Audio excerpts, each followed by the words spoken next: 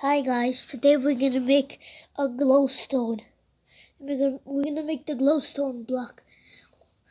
So today, these are the pieces what you need and how to build them. These are the pieces what you will you need. Start from the first two by two transparent piece, what's almost one, and then start with four of these yellow transparent one by one piece just with one. And then start with these kind of things. It, they look like almost cores. And get four of them. And for the transparent yellows get four. And one of these. And one of these come with the glowstone jungle plates. You put it over here.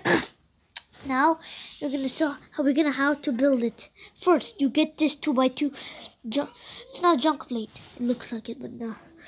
Next you get this, these cores, four of them.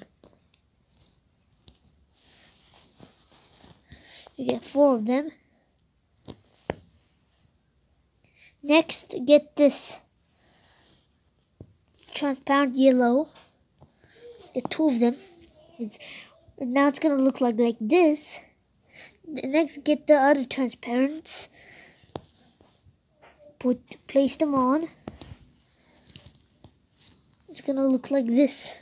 But you all you want to crooked your lego so it's so it doesn't look like it's next you can then get these cores and the thing in there. But now the last one the junker plate. Now that's it. If if you want to see more videos i'm posting one today. Okay? Bye